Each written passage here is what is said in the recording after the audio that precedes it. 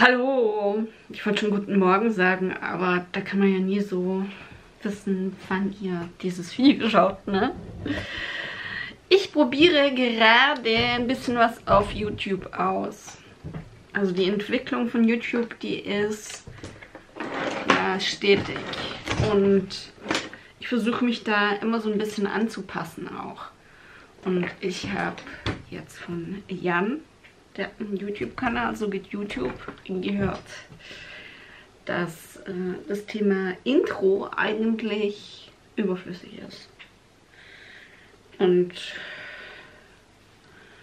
da ähm, schenke ich mir einfach die Arbeit zukünftig.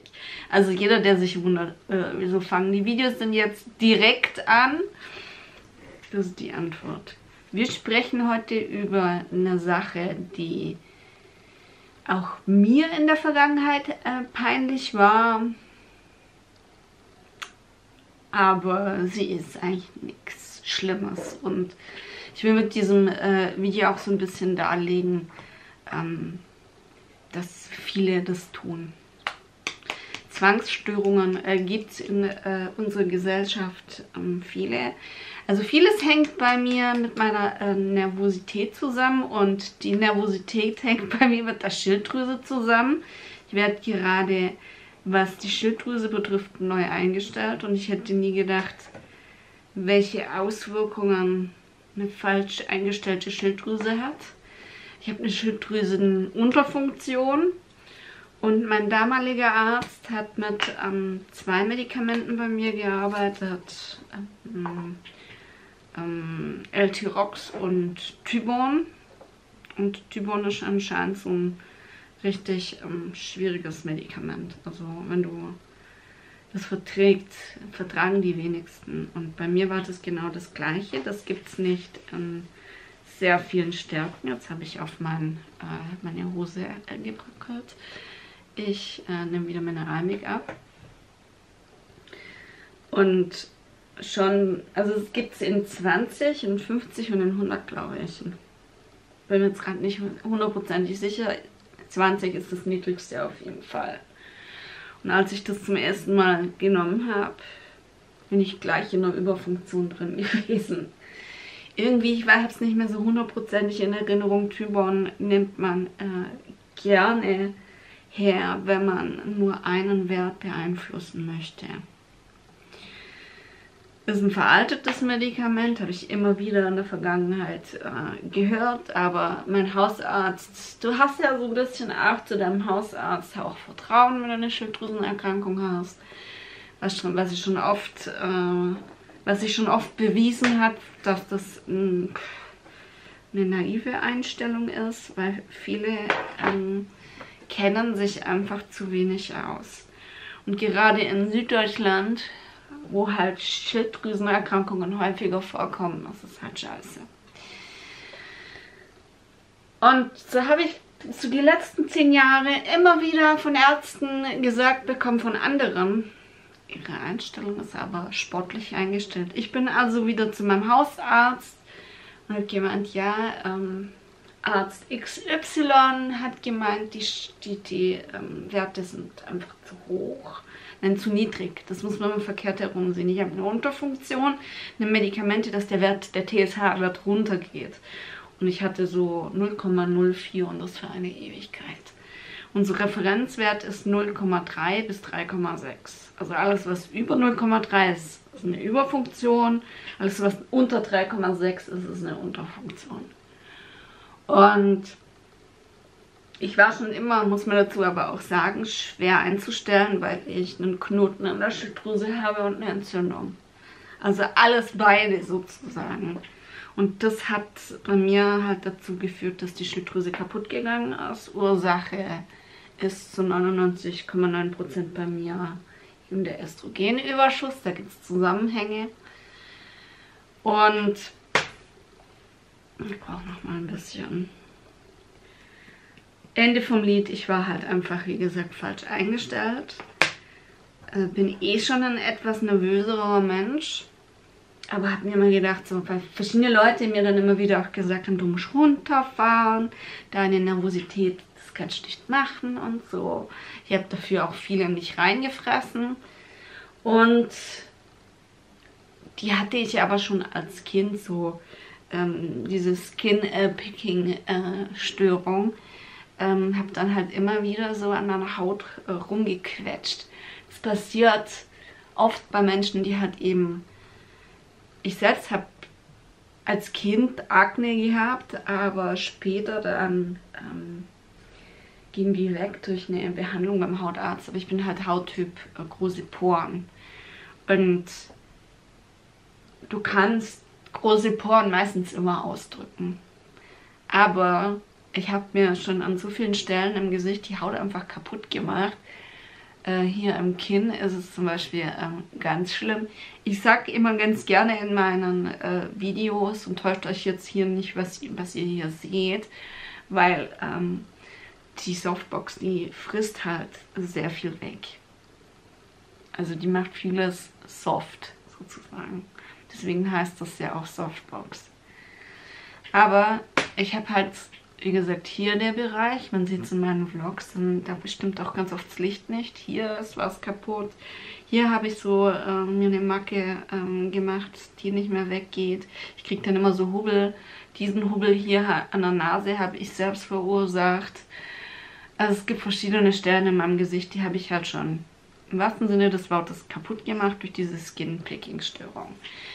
Ähm, eine Zwangsstörung kannst du nicht einfach nur lassen, ähm, sondern das hat immer, das ist immer irgendwie ein Verarbeitungsprozess. Und durch meine Therapie, die ich mache, lerne ich gerade mit dem Thema Nervosität äh, umzugehen und welche Mechanismen ich halt tun kann, um dass es mir besser geht. Und ein wesentlicher Bestandteil war halt bis dato mein Schlaf. Ich leide leider unter ähm, Schlafstörungen, das machen viele. Aber das hat halt eben auch Auswirkungen auf ähm, die Verarbeitung von Erlebnissen am Tag, Nervosität etc. Und zusätzlich eben die zu, viel zu äh, krass, zu hoch eingestellte Schilddrüse ähm, hat mich halt stellenweise so krass nervös gemacht, dass ich halt das an meiner Haut dann ausgelebt habe. Für mich gibt es, also ich versuche das zu bearbeiten, denn das pure Verbieten löst das Problem nicht. Klingt jetzt schwierig, ist auch so, denn wenn ich mir das verbiete, das ist immer wieder in meinem Leben gewesen, dass ich um, ähm, diese Skinpicking-Sache äh, für einen Zeitraum immer gelassen habe, aber das löst das Problem nicht. Das ist also eine psychische Sache auch.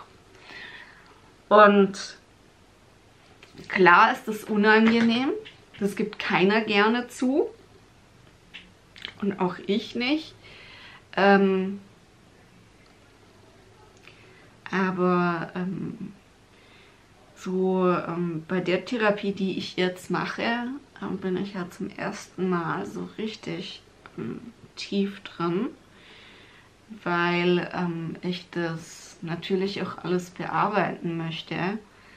Und ähm, gehe halt so offen, wie es nur geht, mit ähm, meinen Problemen um.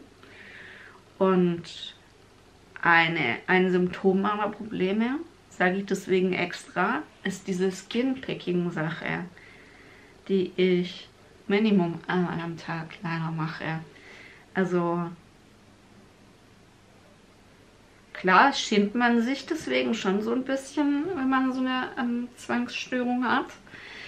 Ich bin der Meinung, dass die, die Sache, also Fitnessstudio und so, auch so ein bisschen mein Nervensystem so ein bisschen gedämpft und beruhigt hat. Das ist auch eine richtig tolle Sache. Also nicht zu 100% aber ich sage immer so schön, wenn meine Nervosität ein ganzer Kuchen wäre, dann, wenn ich Fitness mache, dann geht ein kleines Stück Kuchen weg. Und noch ein kleines Stück Kuchen ist eben ähm, die Schilddrüsensache. Man merkt, da ist noch einiges zu bearbeiten, aber auch der Schlaf ist ein kleines Stück Kuchen. Ähm, aber da gibt es halt trotzdem immer noch ein riesengroßer Anteil. Ähm, ich arbeite viel mit Atmung etc. Also bin da eben gerade sehr... Also ihr müsst euch vorstellen, da gibt es keine Tablette dagegen, sondern ihr müsst halt äh, die Peripherie bei euch so ein bisschen abtasten und gucken, was kann man machen, damit man äh, das Nervensystem so ein bisschen ähm, beruhigt. Und da gehört eben der Schlaf auch dazu. Und bei mir war halt der Schlaf immer super schwierig. Also erst jetzt habe ich wieder... Also ich habe jetzt eine Zeit lang richtig gut gepennt, aber das ist bei mir meistens so durch das, dass ich halt eben Schlafstörungen habe und die schon sehr lange habe. Ähm, reicht bei mir halt eine Zeitumstellung und schon bin ich wieder draußen und bin voll am ähm, struggeln. Ich, ich wache halt um äh, fünf, kurz nach fünf auf, was halt ähm, viel zu früh ist so, ne? Und gehe ja so um elf ins Bett und hab dann halt wirklich, mir fehlt dann Schlaf. Und ich habe ähm, das erst gestern ähm, wieder gemerkt, das summiert sich bei mir dann. Also mir geht es dann nicht sofort schlecht, weil ich schlafe ja schon, aber halt zu wenig. Und in der Tiefschlafphase wache ich halt dann auch auf. Ähm, das summiert sich bei mir dann so ganz komisch. Und irgendwann bin ich dann so fertig, dass ich dann nicht mehr schlafen kann. Und der, den Punkt hatte ich dann gestern mal wieder ausnahmsweise, wo ich halt echt mittags gedacht habe, so komm, jetzt schläfst du mittags und du willst noch irgendwie stylisch zur Jahreszeit noch einen kleinen Horrorfilm angucken, weil in meiner Welt war Halloween gestern und es hat nicht geklappt. Ich konnte nicht schlafen. Ich konnte mittags einfach nicht schlafen. Na, naja. Und da hilft mir der Sport gerade immens. Also das berückt mich richtig krass. Aber auch die Therapie macht seinen Teil. Die Medikamente, die veränderten für die Schilddrüse machen einen Teil aus. Bin mal gespannt, ob das mit dem Skinpicken, ob ich das lasse. Ähm, und ob ich das Ganze einlassen kann. Also im Moment hilft mir halt nur mit meiner Haut das dass ich da ein Verbot für mich selber ausspreche, aber das ist nie des Rätsels Lösung. Nie. Weil ähm, ich komme immer wieder zu dem Problem zurück. Sprich, äh, ich mache es irgendwann, mache ich es dann wieder. Aber wie schon gesagt, ich bin ganz froh, jetzt ähm, den Mut angesetzt zu haben, ähm, eben das mit der Schilddrüse jetzt zu regeln, weil meine Schilddrüse ist schlecht einzustellen, sehr schlecht. Das ist super nervig. Du musst alle sechs Wochen musst Blut abnehmen lassen, um zu gucken, was machen die Werte. Warum sechs Wochen? Weil ähm, ich weiß nicht, wie es bei jemand ist, der eine Überfunktion äh, hat, aber jemand, der eine Unterfunktion hat, der ähm, dessen Stoffwechsel läuft langsamer, viel langsamer. Und du kannst halt erst so nach sechs Wochen ungefähr kannst äh, halt ähm, sagen, was Sache ist. Es hat positive Auswirkungen auch auf andere Dinge. So hat es auch positive Auswirkungen auf meine Periode. Das wusste ich auch nicht, dass diese falsch eingestellte Schilddrüse eben auch ähm, schuld ist daran, dass ich zehn Tage meine Periode zum Teil habe. Ähm, ich habe da mit einem Endokrinologe drüber gesprochen. Auch mega interessant. Das sind halt alles Dinge, die sagt man einem halt nicht, ne? Äh, die kriegt man halt nicht automatisch mit. Und das ist so ein richtiger ähm, Aha-Effekt, der bei mir im Moment ähm, passiert. Und da bin ich super gespannt, wohin das geht. Aber so diese Skinpicking-Sache die habe ich einfach immer noch nicht so richtig unter Kontrolle. Ich merke aber, wenn ich mich anständig ablenke, zu Zeiten, wo ich das halt mache, oder auch ähm, den Vergrößerungsspiegel, wo ich mir halt ins Bad gehängt habe. Für manche Sachen brauche ich das halt einfach zum einen, beispielsweise für meine Augenbrauen oder so. Und wenn ich den aus dem Bad raushole, nicht so faul bin und den einfach hängen lasse, dann ist das auch viel getan, muss ich echt sagen. Wo war wir stehen geblieben? Mein Akku hat gerade geschwächelt und musste ich austauschen. Deswegen, ah, bei meinen Augen. Ja, es ist natürlich schon nicht so einfach, über sowas zu reden. Und es gab viele, viele Ausreden in meinem Leben, warum ich wieder irgendwelche Macken im Gesicht hatte. Man hat halt dann schnell gesagt, ah, da hat mich was gestochen. Oder ah, da habe ich irgendwie einen Pickel oder so. Weil im Gesicht rumdrucken ist halt einfach erstens absolut nicht gut, weil man beschädigt sich halt nachhaltig die Haut. Und ähm, es ist einem halt einfach auch so ein bisschen unangenehm. Deswegen verbessere ich Leute unter meinen ähm, Skincare-Videos, die sagen, ich hätte so eine wunderbare Haut. Ähm, nein, habe ich nicht. Leider nicht. Und wie schon gesagt, ich habe nachhaltig an vielen Stellen meine Haut ganz krass beschädigt und das kriegt man halt auch nicht mehr weg. Ich bin ganz froh, dass ich mich mit dem Thema Skincare auseinandersetze, dass ich halt eben weiß, so ähm, Panthenol und solche Stoffe helfen mir halt, wenn ich mal wieder ähm, meine Haut so äh, gereizt habe, dass äh, sie halt mega rot ist und so. Deswegen habe ich auch irgendwann angefangen, mich mit äh, Skincare auseinanderzusetzen, wenn auch relativ spät in meinem Leben, weil das Problem habe ich schon ein bisschen länger. Aber wie schon gesagt, das versuche ich jetzt gerade zu bearbeiten. Und in dem Fall sage ich bewusst versuche, denn ähm, das ist gar nicht so einfach. Denn wie schon gesagt, mit einem Verbot wirst du nicht Herr über das Problem. Absolut nicht. Denn du verbietest dir es dann nur über eine Zeit hinweg. Das mache ich auch ganz oft, weil Fakt ist halt eben, du willst dir halt auch nicht die ganze Zeit ähm, die Haut kaputt machen.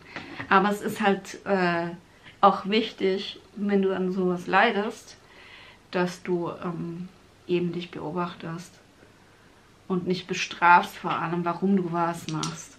Klingt total irrational, aber um sich selber zu verstehen, ähm, ist es einfach ein wichtiger, wichtiger, wichtiger, wichtiger Punkt. Ähm, ich habe gar keinen Concealer aufgetragen und stelle gerade fest, dass ich auch gar keine Lust habe, einen Concealer aufzutragen. Jetzt ist eh zu spät. Ich trage aber noch einen Corrector auf. Denn, wie schon erwähnt, viel geschlafen habe ich nicht. Gerade bei der Zeitumstellung, da gehe ich halt dann viel zu früh ins Bett, weil ich viel zu früh todmüde bin. Ich habe es ja schon gewundert, dass ich gestern bis halb elf geschafft habe. Aber auch nur mit Mühe und Not, weil ich habe mich da noch so ein bisschen wach gehalten. Irgendwie mit dem Hintergedanke, dann morgens auch ein bisschen länger zu schlafen. Hat nicht geklappt. Hat nicht geklappt. Jane schon hat gerade äh, über sowas, also was für ein Typ du bist, wie du funktionierst, hat ein Video darüber gemacht. Ähm, und ich bin wohl vermutlich doch so der Typ Frühaufsteher. Ich war früher, es war früher verkehrt herum. Ne, also früher war das bei mir so, dass ich erst gegen später richtig gut funktioniert habe. Aber jetzt ist halt wirklich ähm, die frühe Uhrzeit.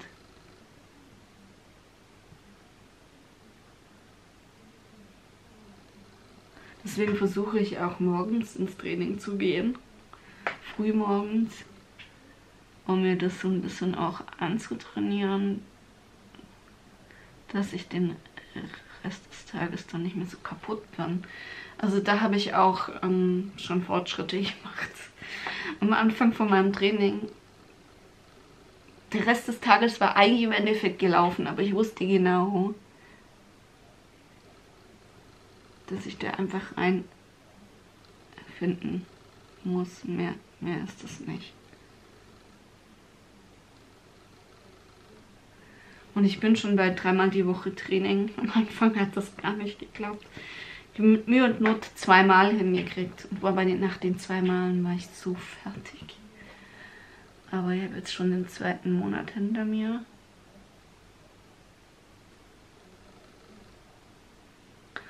Und bin im Endeffekt erst einmal ähm,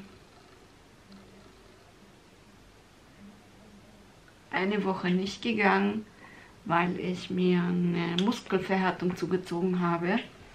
Von der habe ich immer noch was. Ich bin immer schön mich am Dehnen. Morgen gehe ich nochmal zu der Ärztin. Die spritzt mir nochmal so ein Schmerzmittel, was aber auch die Muskeln äh, entspannt, weil ich kriege krieg das nicht hin zu 100%. Das ist immer dieses und da spritzt die mir was rein. Ich soll aber trotzdem weiter mit ähm, Dehnübungen arbeiten und Wärme. Und bei uns im Fitness gibt es so eine Massageliege. Wenn die frei ist, gehe ich eigentlich immer rein. Ja. Oh, es ist langsam echt eine Herausforderung, sich einen Eyeliner zu ziehen, wenn man nicht mehr so hundertprozentig gut sieht. Gebe ich auch mal ehrlich zu eine Herausforderung. Ja, Skinpicking. Ich konnte das ganz lange nicht benennen oder wollte das auch nicht benennen. Das ist, ist es ja oftmals auch so, dass man ähm, sich mit dem Problem nicht konfrontieren möchte. Man weiß, man tut was Falsches, verbietet sich das dann und dann kommt es halt immer wieder. Im Laufe meines Lebens war das ganz oft so. Und jetzt arbeite ich halt an der Ursache, sprich am Schlaf, am, am Rhythmus, also dass ich so ein bisschen mehr auch im Rhythmus jetzt von mir bin und da nicht dagegen arbeite. Aber mich haut es halt mit jeder Zeitumstellung, egal ob von Sommer zu Winter oder von Winter zu Sommerzeit, mich haut es jedes Mal raus. Mich haut es jedes Mal knallhart raus.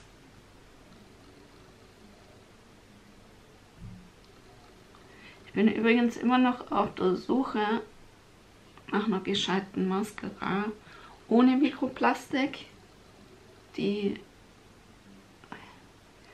was kann, weil in Mascaras ist meistens Mikroplastik enthalten und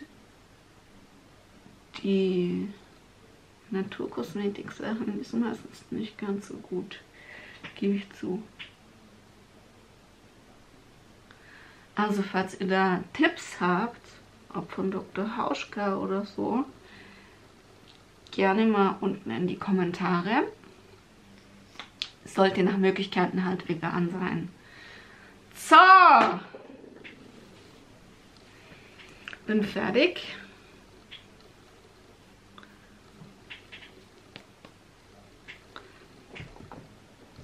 So. Vielen Dank fürs Einschalten. Schön, dass du dabei warst. Am Ende gibt es nochmal zwei Videos. Und falls du Bock hast, schaltest da mal rein. Ich sage danke fürs Einschalten. Wir sehen uns beim nächsten Mal wieder, beim nächsten Video. Bis bald. Tschüss.